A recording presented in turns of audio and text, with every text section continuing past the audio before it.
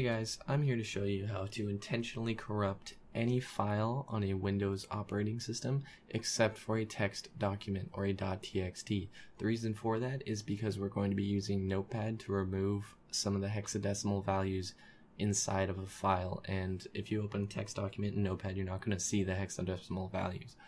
Um, although there is a way to corrupt those, but that's not going to be included in this video. Just do some research if that is really necessary.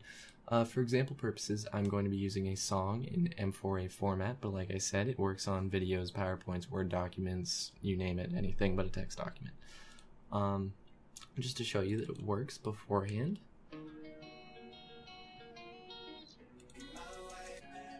Alright, so that's a fully functioning song. Um, keep in mind that this process is not reversible. The second you open this up in Notepad and start editing with the hexadecimal values, it's no longer going to work. It's going to be corrupt. So all you need to do is open with Notepad, and every file is going to come up differently. It could be blank, it could be complete gibberish, uh, foreign languages. Uh, my personal favorite is whatever you call this. Um, but as mentioned, it is not reversible. So if even if I were to highlight this 9 and delete it, and then put a 9, and then hit save, this file would be considered corrupt and it would no longer work.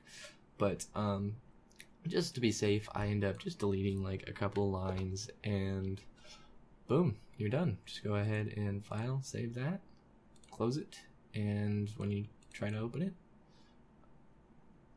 nope, cannot play the file. Uh, again, simple process, works for any kind of file. And uh, yeah.